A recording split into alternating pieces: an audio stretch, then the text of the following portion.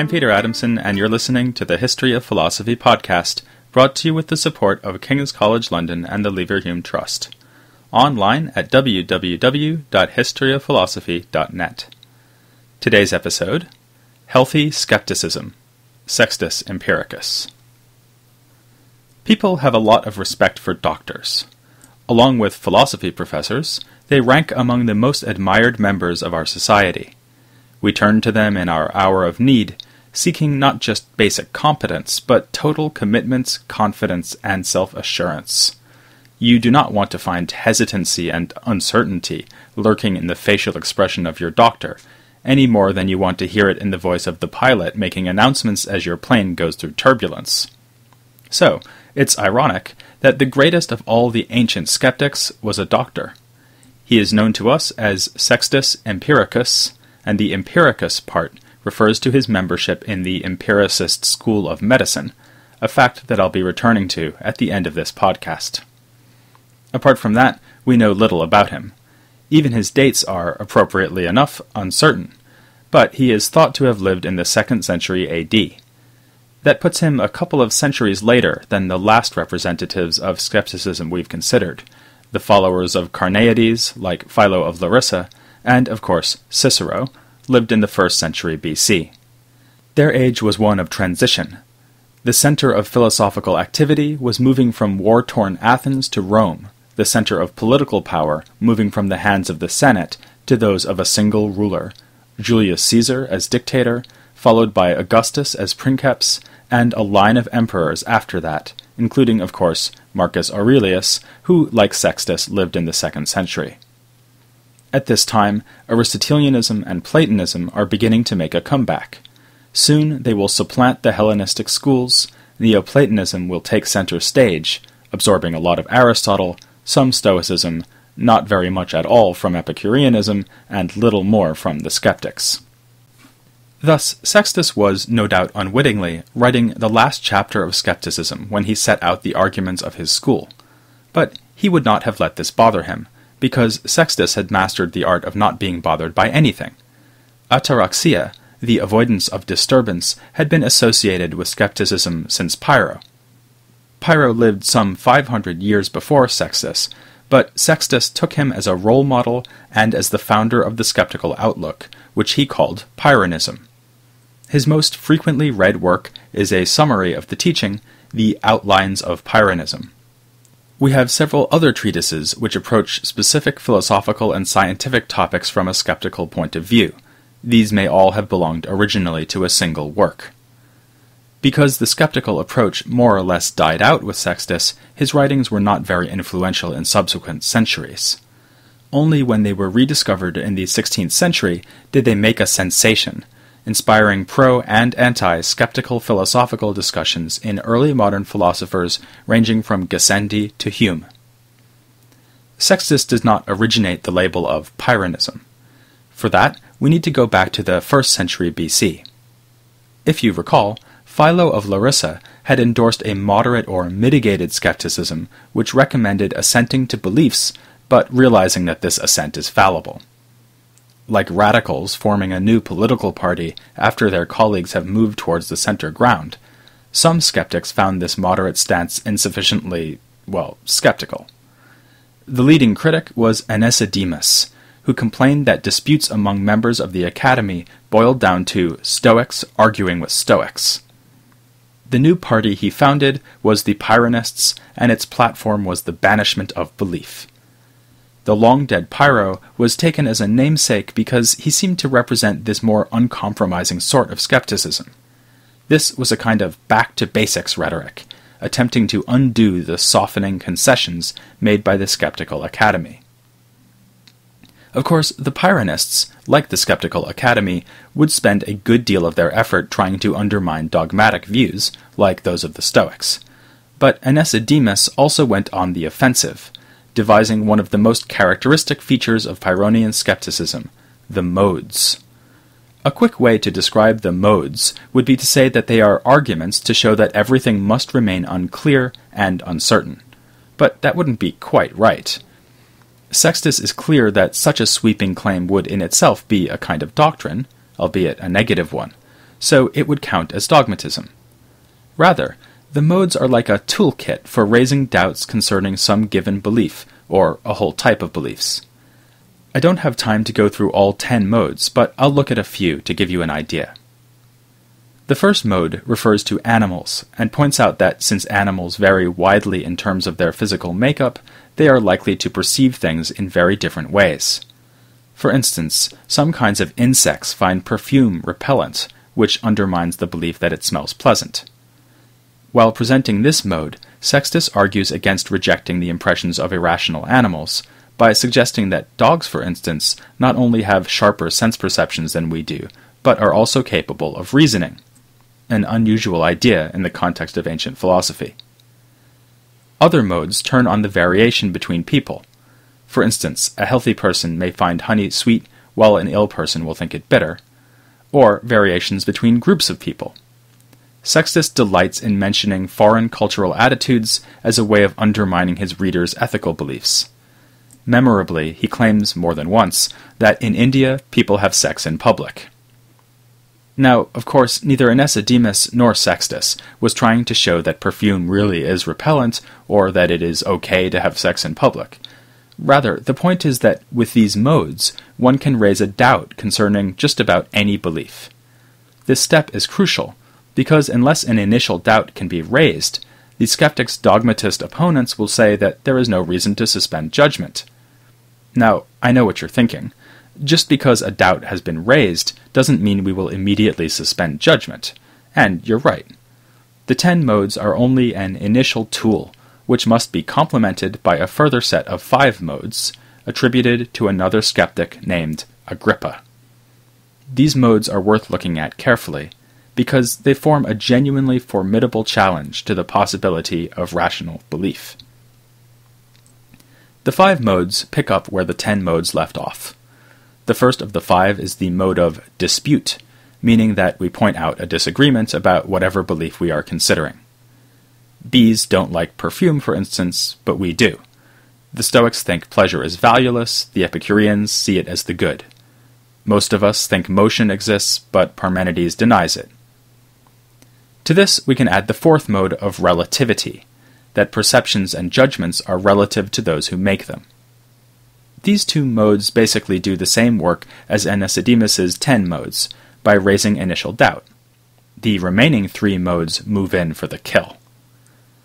Now that a dispute has been raised, how can either party to the dispute hope to settle it?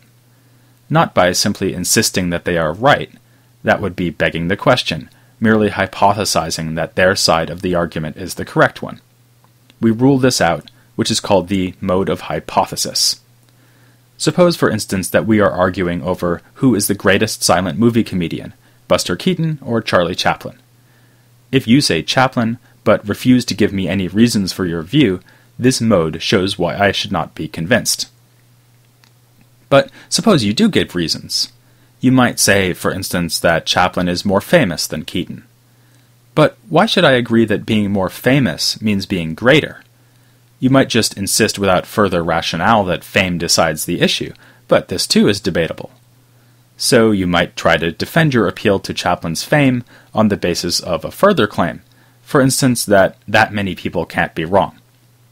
But the problem is already obvious. This new claim will also be open to dispute. As the mode of regress says, there is no point appealing to an unending string of debatable points. At some point, to block off further debate, you'll have to just stop giving further reasons. At that point, you'll just be insisting that you're right, which we already saw will not work. The only other option is to argue in a circle, which brings us to the final mode, the reciprocal mode. If you say that Chaplin is greater because he's more famous, and more famous because he's greater, then you've made no case at all. You've just led me around in a circle. The upshot of this is twofold. First, as far as we can tell, every belief is debatable. Second, all disputes seem to be balanced, with neither party able to strike a knockout blow against the other. Things are left in the condition Sextus calls isostheneia, in other words, a counterbalancing of views which seems incapable of resolution. It's important to note that Sextus really means the dispute is balanced.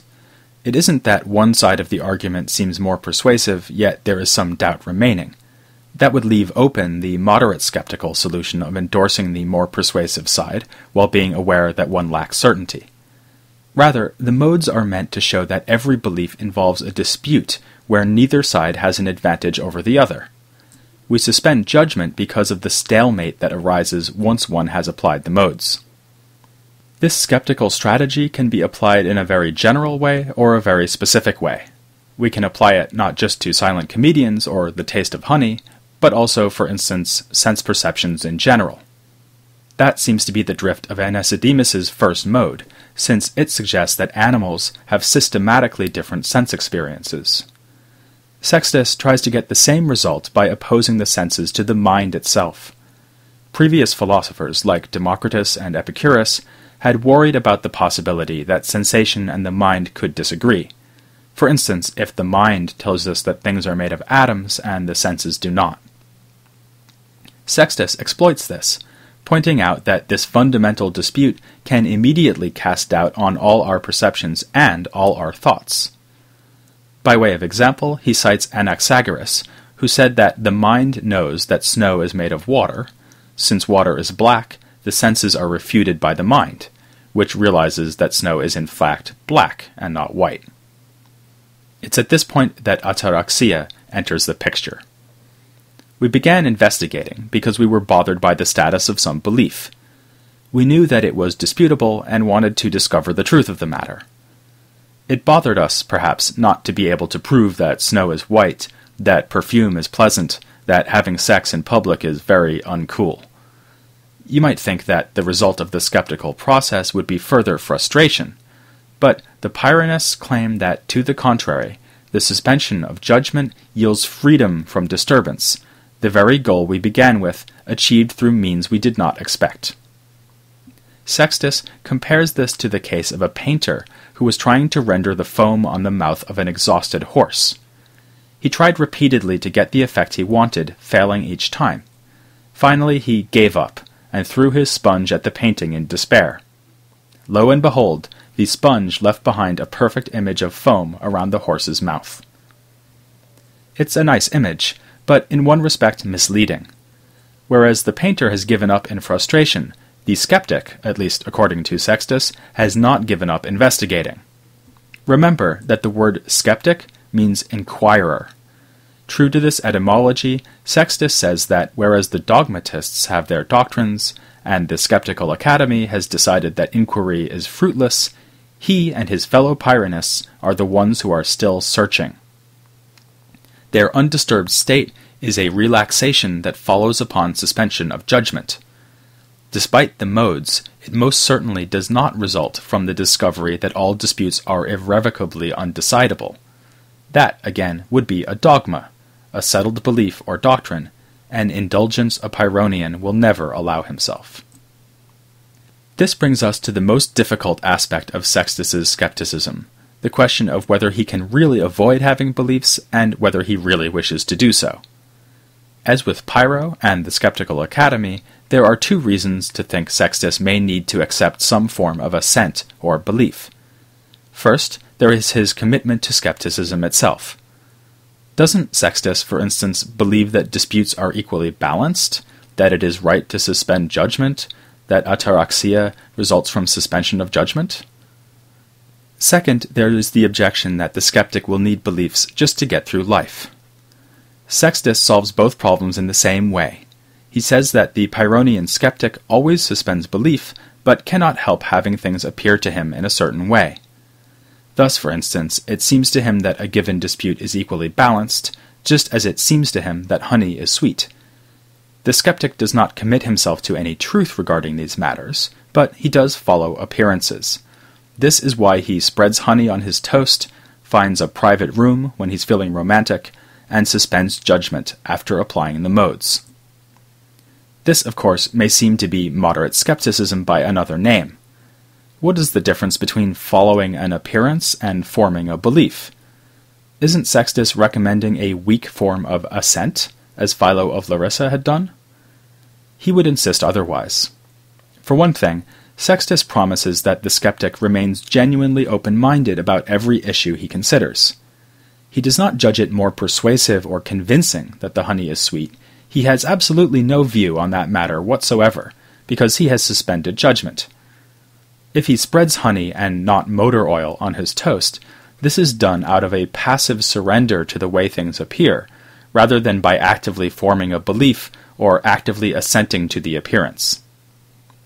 The skeptic yields to the appearances, letting them guide him through the world, but he remains detached from these appearances so far as their truth is concerned, refusing to commit himself even to the relative likelihood or plausibility of each appearance. This applies also to the skeptical arguments themselves. Sextus compares them to a purgative drug, which is evacuated from the body along with whatever the drug is meant to purge. Thus, for instance, the skeptic is not committed to the claim that there is no criterion of truth, or that the modes of Agrippa show that no dispute can be resolved. Rather, the skeptic's arguments merely make it seem to him that disputes are unresolved, and he acquiesces in this result. When the skeptic says, for instance, that things seem to be no more one way than another way, Sextus describes this as an announcement or report of how things strike the skeptic. It is not a statement of what is true about these things, but rather a kind of autobiographical observation. I looked into this matter, and things seemed to be unresolved. At least on the interpretation I've just given, then, Sextus does try to avoid belief and assent entirely. I should admit that there are rival interpretations. For instance, it has been suggested that Sextus must admit to having beliefs at least about how things seem to him. He would not believe that Buster Keaton is a genius or that honey is sweet, but would believe that Keaton seems to him to be a genius, and that honey appears sweet. After all, Sextus himself must be an authoritative judge of how things seem to him. There's no room for doubt here. Another proposal would land Sextus with an even wider range of beliefs.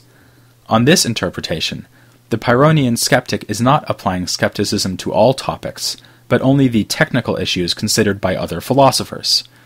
Thus, for instance, he would believe that honey is sweet, but not believe that it is in the nature of honey to be sweet, since natures are something posited by philosophers rather than normal people. I myself don't adopt that reading. I think it presupposes a sharp division between philosophical and everyday beliefs that is simply not recognized by Sextus, or, for that matter, by other ancient philosophers. Still, Sextus does present himself as being on the side of the common man. The skeptic's passivity in the face of impressions means that he'll just go along with the way things seem, and thus lead an outwardly normal life. This will include, for instance, the prevailing cultural norms if the Pyrrhonian lives in India, he'll cheerfully have sex in public. If in Greece, he'll go to the temple to sacrifice to the gods, even though, of course, he suspends judgment about whether gods exist. He will also follow appearances that arise by nature. For instance, he will eat when he feels hungry, and something seems to him edible, and so on. And he will even follow the practices of technical skills, going through the motions of being a blacksmith, or indeed a doctor, but always without belief. At the beginning of this episode, I said that it was ironic that Sextus, the greatest of skeptics, was a doctor, given that we look to doctors for certainty and confidence. But here, in good Pyrrhonian spirit, is a countervailing thought. Medicine is an inexact art, and rarely provides certainty. This is true still today, but ancient medicine was of course an even more uncertain enterprise. Good doctors then knew their limits. They emphasized that medicine deals in probabilities, that its rules apply only inexactly to different patients with all their variety, and so on. From this point of view, it may seem appropriate that Sextus was a doctor. It's also appropriate that he presents skepticism as a kind of therapy or cure. Like Epicureanism, Sextus's philosophy is a means of dispelling disturbance. Someone who is not bothered by a topic of inquiry has no need to embark upon the skeptic path. Hence Sextus's comparison of the skeptical arguments to purgative drugs. Similarly, he explains why skeptics often pile up arguments on both sides of a dispute without any apparent regard to the strength of those arguments. The aim is to cure by leading the audience to suspend belief and achieve ataraxia. For some audiences, a bad argument can be just as effective as a good one, and the skeptic chooses the effective arguments as a doctor would choose a drug for the patient before him. Still, one can't help but find a tension between Sextus's philosophy and his medical profession. Medicine may deal in probabilities, but as we've seen, Sextus would not assent even to what seems probable. As Sextus himself notes, there was a school of doctors who seemed fairly skeptical. They were called the Methodists, and their treatment followed a simple set of appearances. But Sextus was not a Methodist, he was an empiricist, that is, a member of a medical tradition which laid great emphasis on past observation while shunning theories about underlying causes, like those devised by the so called rationalist school. Sextus explicitly says that empiricism does not quite fit with skepticism. We can only be puzzled by this, given that he is known to have been an empiricist doctor. In a couple of episodes, we'll have an opportunity to look further at these movements in ancient medicine and how they interacted with philosophy. First, though, since we've now reached the end of our series of episodes on the Hellenistic schools, it's time for an interview that will let us finish on a high note. For this purpose, the ideal thing would be to turn to a world leading expert on Hellenistic philosophy. But have I managed to secure an interview with such an expert? And if so, who might it be? You won't have to wait long to find out if you join me next time on the History of Philosophy without any gaps.